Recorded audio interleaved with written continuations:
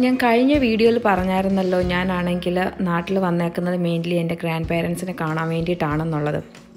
ഇതെന്റെ ഡാഡിയുടെ അപ്പച്ചനും അമ്മച്ചിയാണ്. എറണാകുളത്താണ് അപ്പച്ചനും അമ്മച്ചിയും. അപ്പം അപ്പച്ചൻ നല്ല സിക്കാണ് ഇപ്പം അപ്പച്ചനെ കാണാനും പറ്റിയതിൽ വളരെ സന്തോഷം. ഇതെന്റെ ബേബി അമ്മച്ചി. അപ്പോൾ കുഞ്ഞുങ്ങളെയൊക്കെ കണ്ടതിലും അവരും ഒത്തിരി ഒത്തിരി സന്തോഷത്തിലാണ്. ഞാൻ വളർന്നതും നിന്നതും എന്റെ അമ്മയുടെ വീട്ടിലാണ്. എന്റെ അപ്പച്ചനും അമ്മച്ചി അവിടുത്തെ അപ്പച്ചനും അമ്മച്ചിയാണ് എന്റെ കൂടെ നിന്നാണ് ഞാൻ വളർന്നത്. അപ്പം അമ്മച്ചി അവിടുത്തെ അമ്മച്ചി കുറച്ചേറെ സിക്കാണ്. ഓൺ ആൻഡ് ഓഫ് ഹോസ്പിറ്റൽ വീടായിട്ട് മാറി മാറിയാണ്. ചില സമയത്ത് കുറച്ചേറെ സിക്ക് കൂടുതലായിട്ട് നമുക്ക് ഇച്ചിരി പേടി വരുന്ന സിറ്റുവേഷനൊക്കെ വരും. അപ്പം ഈ സ്പ്രിംഗ് ബ്രേക്കിന് കുഞ്ഞുങ്ങളെ കൊണ്ട് കാണിക്കണമെന്ന് എനിക്കൊരു ആഗ്രഹം ഉണ്ടായിരുന്നു. അമ്മച്ചിക്കും വളരെ ആഗ്രഹമായിരുന്നു കുഞ്ഞുങ്ങളെ കാണാൻ. അങ്ങനെയാണ് ഞങ്ങൾ നാട്ടിലോട്ട് പോകുന്നത്.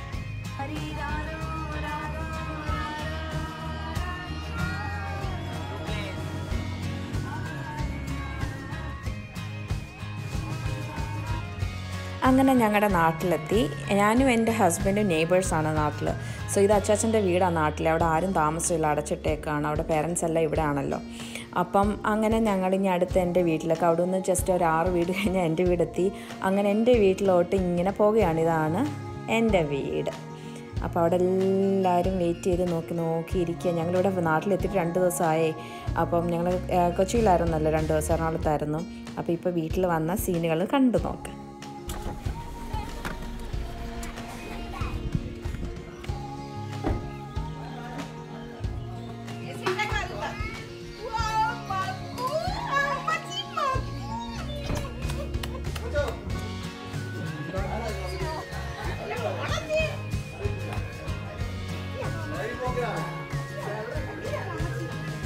വീട്ടിൽ ഒരാൾ മിസ്സിങ് ആണ്. എന്റെ ഡാഡി ഡാഡി സൗദിയിലാണ്. ഡാഡി രണ്ട് ദിവസം കഴിഞ്ഞ് വരും. അപ്പം ഡാഡിയുടെ ഒരു കുറവ് ഇവിടെ ഉണ്ട്. ബാക്കി എല്ലാവരും വീട്ടിലുണ്ട്.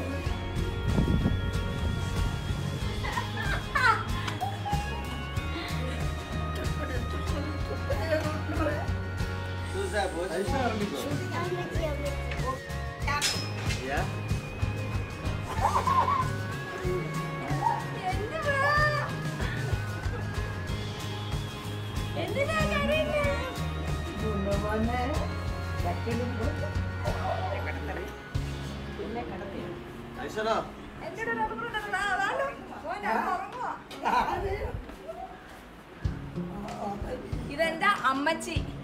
അതെന്റെ അപ്പച്ചൻ. ഇവർ രണ്ടുപേരും കാണാനാ ഞാൻ ഇത്രയും ദൂരം ഓടിപ്പിടിച്ച് ഈ വരുന്നത്.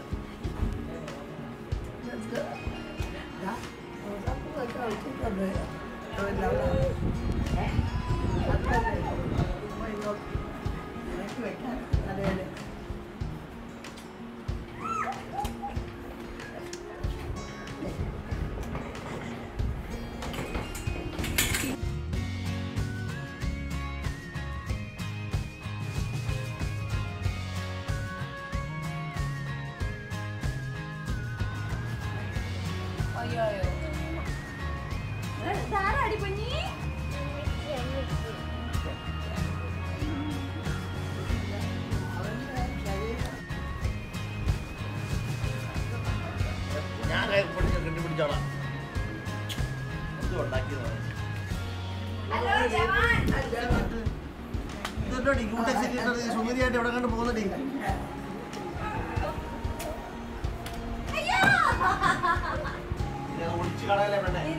അതെ എന്റെ അനിയന്റെ ഒരു അനിയന്റെ അല്ല ഞാൻ അതെന്തുവാടാ? ആ കണ്ടോ? അതിന്റെ വീടിനകത്ത് മീൻ വളർത്തൽ കേന്ദ്രമാണേ. സംഭവം കൊള്ളാം.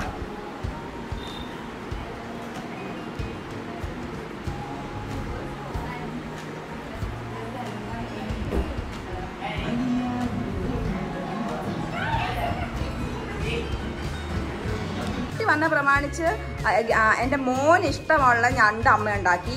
അച്ചാച്ചന് ഇഷ്ടമുള്ള ബീഫ്. പിന്നെ ഞാൻ ഇച്ചിരി ചക്ക വേവിച്ച് വെക്കണമെന്ന് പറഞ്ഞു ചക്ക. പിന്നെ മോര് പിന്നെ എന്ത് വരുന്നല്ലോ ഉള്ളത്? മീൻ കറി ഇത്രയൊക്കെ ഉള്ളു കേട്ടോ. പക്ഷെ നല്ല ഉഗ്രം ടേസ്റ്റ് ഞങ്ങളുടെ വീട്ടിലെ കൂട്ടാനും. ആ. കേരളത്തിൽ കിട്ടുന്ന ഏറ്റവും ബെസ്റ്റ് ഞണ്ട് കിട്ടുന്ന സ്ഥലമാണ് ഇത് ഇത് മഡ്ക്രാവാണോ സന്തോഷ? ബാക്ക് വാട്ടേഴ്സ് മാത്രം കാണപ്പെടുന്ന ഞണ്ടുകൾ പിടിക്കുന്ന കാണുന്നതാണ് ഇതിനെക്കാട്ടി രസം. എങ്ങനെയാണ് പിടിക്കുന്നത് നിങ്ങൾ കാണുന്നത്? കാര്യം മലയാളിയുടെ സ്വഭാവം ഞണ്ടിന്റെ മാതിരിയാണ്. പിടിക്കാതിരിക്കും വിടത്തില്ല. അതുമാതിരി വഴുക വള്ളിയിൽ ഇങ്ങനെ ഉണക്കമീൻ കെട്ടി തൂക്കിയിട്ട് അതിൽ ഈ ഞണ്ട് കയറി പിടിക്കും. ഇതിന് വള്ളി ഇങ്ങനെ ഞണ്ട് ഇങ്ങനെ മാല മാതിരി അതൊരു വിഷ്വൽ ഫീസ്റ്റ് ആണ്. അത് രാത്രി അവർ പക്ഷെ ഈ ഞണ്ടിന്റെ ടേസ്റ്റ് ലോക പ്രസിദ്ധമാണ് ഈ ഞണ്ടിനാണ് ഇന്ത്യയിൽ ഏറ്റവും കൂടുതൽ പ്രിയമുള്ളത്. ഇന്ത്യയിൽ ഇന്റർനാഷണൽ മാർക്കറ്റിൽ ഏറ്റവും കൂടുതൽ പ്രിയമുള്ള ഞണ്ടാണ്. അല്ലെങ്കിൽ ആലമ്പിടിയ കായലിലെ ഞണ്ട്.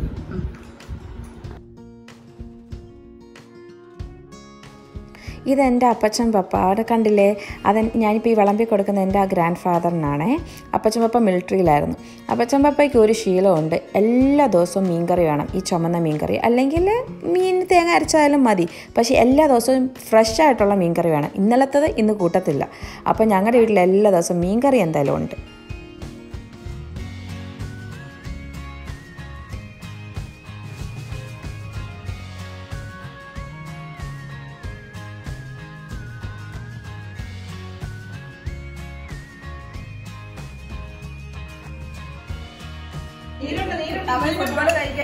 മൂന്നാൽ അമ്മേ. അമ്മേ.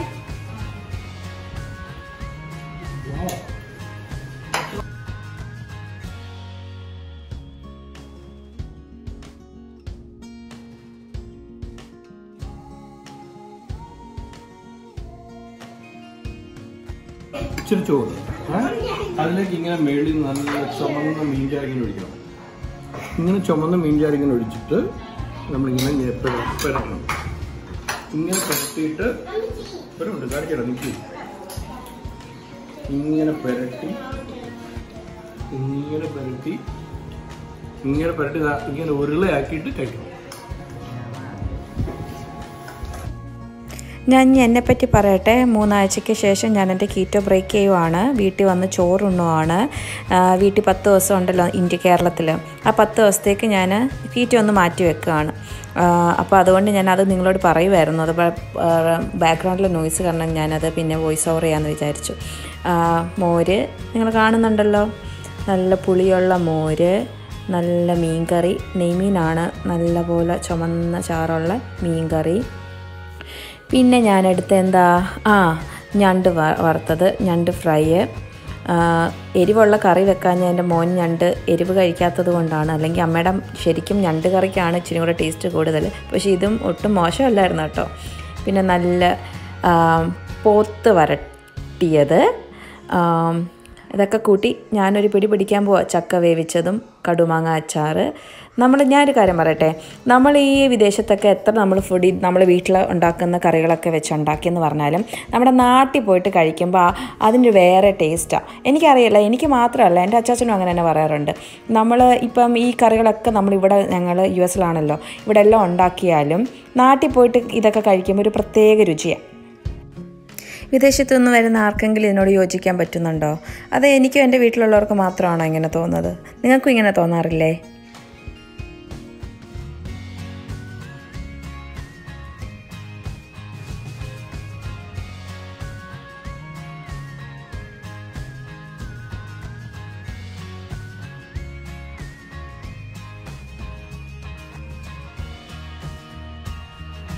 അവിടെ കണ്ടോ? മോൾ രാവിലെ തന്നെ ഒരു മരത്തിൽ നിന്ന് പഴങ്ങളൊക്കെ പറിക്കാൻ തുടങ്ങി. അതൊരു പഞ്ചസാരപ്പഴത്തിന്റെ മരമാണ്.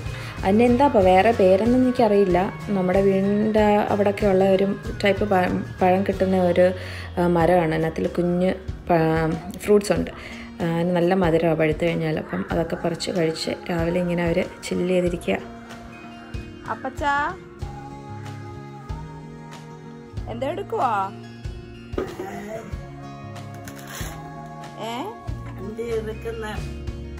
ഫോട്ടോ ആ എന്നിട്ട് അത് അത് വിറ്റിട്ട് കിട്ടുന്ന പൈസ എനിക്ക് തരുവോ? ഈ ഇത് പറഞ്ഞാണ്ട് വിറ്റിട്ട് കിട്ടുന്ന പൈസ എനിക്ക് തരുവോ? തരുവോ ഇല്ലയോ പറ? നിനക്ക് പൈസ എത്ര വേണം? ഞാൻ തരാമല്ലോ. ഈ ഈ ഇതൊന്നും വേണ്ടല്ലോ. ഇത് വിറ്റ എത്ര രൂപ കിട്ടും ഇത് വിറ്റ എത്ര രൂപ കിട്ടും എത്ര ഉണ്ട്?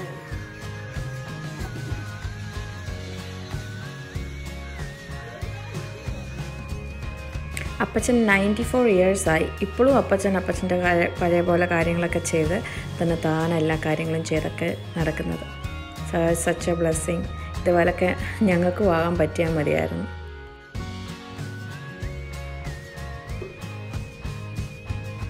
നമ്മൾ നാട്ടിൽ വന്നത് മാർച്ച് സെവൻതിനാണ് എമിറേറ്റ്സിന്റെ ഫ്ലൈറ്റിൽ E K zero five three two. അപ്പം അത് ആ ഫ്ലൈറ്റിൽ ഇതുവരെയും ഒന്നും ഒരു കൊറോണ കേസസും ഇതുവരെയും പുറത്ത് വന്നിട്ടില്ല. അപ്പൊ അന്നാ തന്നെ ഞങ്ങൾ ഒരു പ്രിക്കോഷണറി ആയിട്ട് നമ്മൾ നമ്മുടെ അടുത്തുള്ള ഹെൽത്ത് സെന്ററിൽ പോയിട്ട് ഞങ്ങൾ അവരോട് പറയാൻ പോവാണ്. ഈ ഇൻഫർമേഷൻ എനിക്ക് കിട്ടിയത് കൊറോണയുടെ കൺട്രോൾ റൂമായ കൊല്ലത്തെ കൺട്രോൾ റൂമിന്റെ നമ്പറിൽ ഞാൻ വിളിച്ചു നോക്കിയപ്പോൾ എനിക്ക് അവരെന്നോട് പറഞ്ഞു അടുത്തുള്ള ഒരു ഹെൽത്ത് സെന്ററിൽ പോയി നിങ്ങൾ എന്തുവായാലും വിവരം അറിയിക്കുക. നിങ്ങൾ ഇന്ന ദിവസം ദുബായ് വഴി വന്നിട്ടുണ്ടെന്നുള്ളത്. നമ്മൾ നമ്മുടെ ഒരു ഇൻഫർമേഷൻ നമുക്കിങ്ങനെ ഹെൽത്ത് സെന്റർ മീൻ കൊറോണയുടെ കൺട്രോൾ റൂം തന്ന പ്രകാരം ഞങ്ങൾ ഇന്ന് ഞങ്ങളുടെ അടുത്തുള്ള ഹെൽത്ത് സെന്ററിൽ പോയി ഞങ്ങൾ ഫാമിലി ആയിട്ട് ഞങ്ങളുടെ എല്ലാം ടെസ്റ്റ് ചെയ്യാൻ വേണ്ടി ഞങ്ങൾ പോവാണ്. അപ്പം നിങ്ങൾക്ക് ഇതുപോലെ നിങ്ങൾ ഏതെങ്കിലും ദൂരദേശത്ത് നിന്ന് ദുബായ് വഴിയോ ഖത്തർ വഴിയോ ഏതെങ്കിലും ട്രാൻസാക്ഷൻ എടുത്ത് വന്നിട്ടുണ്ടെങ്കിൽ നിങ്ങൾ ദയവ് ചെയ്ത് നിങ്ങളുടെ അടുത്തുള്ള ഹെൽത്ത് സെന്ററിൽ പോയിട്ട് നിങ്ങൾ നിങ്ങളെ ടെസ്റ്റ് ചെയ്യിക്കുക. ഈവൻ തോ നിങ്ങളുടെ വന്ന ഫ്ലൈറ്റിൽ ഒരു കേസസ് പോലും ഐഡന്റിഫൈ ചെയ്തിട്ടില്ലെങ്കിൽ പോലും നമ്മൾ ചെയ്യേണ്ട കാര്യം ചെയ്ത് കഴിഞ്ഞാൽ നമുക്ക് സമാധാനത്തോടെ ഇരിക്കാമല്ലോ നിങ്ങൾക്ക് വേണ്ട നിങ്ങളുടെ control room number control room numbers കിട്ടുന്നത് എങ്ങനെയാണെന്ന് വെച്ചാൽ ഞാൻ കെ കെ ശൈലജ ടീച്ചറിന്റെ ഫേസ്ബുക്ക് പേജിനകത്തു നിന്നാണ് ഓരോ ജില്ലയിലെയും കൺട്രോൾ റൂമിന്റെ നമ്പർ കൊടുത്തിരിക്കുന്നത്. അപ്പം ഞാൻ കെ കെ ശൈലജ ടീച്ചർ അതായത് നമ്മുടെ ഹെൽത്ത് മിനിസ്റ്ററിന്റെ ഫേസ്ബുക്ക് പേജിലാണെങ്കിൽ ഞാൻ ഇൻഫർമേഷന് എടുത്തിട്ട് അവിടെ നിന്നാണ് ഞങ്ങൾ കൊല്ലം ജില്ലയിലാണ് ഇപ്പം താമസിക്കുന്നത്. സോ അവിടെ നിന്ന് ഇൻഫർമേഷൻ എടുത്തിട്ടാണ് ഞാനിത് ഇപ്പം ഈ ഹെൽത്ത് സെന്ററിലേക്ക് പോകുന്നത്. അപ്പം നിങ്ങളൊക്കെ നിങ്ങൾക്ക് ട്രാവൽ ചെയ്ത് ഇവിടെ എത്തിയിട്ടുള്ളവർ ആരെങ്കിലും ഉണ്ടെങ്കിൽ നിങ്ങളുടെ അടുത്തുള്ള ഹെൽത്ത് സെന്ററിൽ പോയി നിങ്ങൾ ജസ്റ്റ് ഒന്ന് ഇൻഫോം ചെയ്താൽ മതി. ഞങ്ങൾ ഇന്ന ദേശത്തു നിന്ന് ഇത്ര ദിവസത്തിന് മുന്നേ വന്നിരുന്നു ഇന്ന ഫ്ലൈറ്റിലാണ് വന്നിരുന്നത്. നിങ്ങളുടെ ഫ്ലൈറ്റിന്റെ നമ്പറും കൂടെ ഒന്ന് കൊടുത്തേക്കുക. അപ്പം അത്രേ ഉള്ളൂ. അപ്പൊ ഞങ്ങളിപ്പം ഹെൽത്ത് സെന്ററിൽ നിന്ന് ഇറങ്ങിയതേ ഉള്ളൂ. ഞങ്ങൾക്കാണെങ്കിൽ ഡോക്ടർ അവിടെ ഉണ്ടായിരുന്നു. ഞങ്ങൾ ഹെൽത്ത് ഡയറക്ടറിനെ നേരിട്ട് പോയി കണ്ടിട്ട് ഞങ്ങൾ ഞങ്ങളുടെ ഇൻഫർമേഷൻ കൈമാറി. എന്നിട്ട് ഞങ്ങൾ അദ്ദേഹം അദ്ദേഹം ഞങ്ങളെ ഒരു ഡോക്ടറിന്റെ അടുത്ത് അയച്ചു. ഞങ്ങളെ ടെസ്റ്റ് ചെയ്യിപ്പിച്ചു. ഞങ്ങൾ എല്ലാവരും ഞങ്ങൾ നാല് പേര് ഫാമിലിയിൽ നിന്നുള്ള നാല് പേരും അസിംറ്റമാറ്റിക്സ് ആണ്. അസിംറ്റമാറ്റിക് ആണ്. അതുകൊണ്ട് ഞങ്ങൾക്കൊരു ഡോക്ടറുടെ ഒരു ലെറ്റർ ഉണ്ട്. നമ്മൾ ടെസ്റ്റ് ചെയ്തിട്ട് നമ്മൾ അസിംറ്റമാറ്റിക് ആണെന്നുള്ളതും കാരണം കാര്യങ്ങളും ഒക്കെ.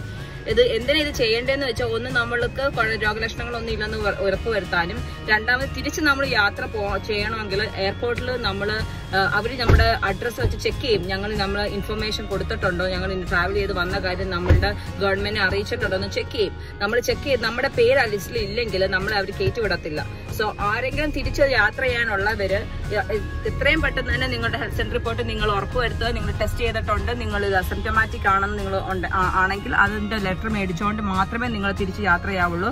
അതായത് ഏത് എയർപോർട്ടിലാണോ നിങ്ങൾ തിരിച്ച് കയറി പോകുന്നത്? ആ എയർപോർട്ടിൽ ഈ ലെറ്റർ പ്രൊഡ്യൂസ് ചെയ്യേണ്ടതാണ്. എന്നാൽ അത് അവരുടെ ഒരു ലിസ്റ്റിൽ വന്നിരിക്കണം നമ്മുടെ പേരും നമ്മളുടെ യാത്രാ ഡേറ്റ്സും എല്ലാം.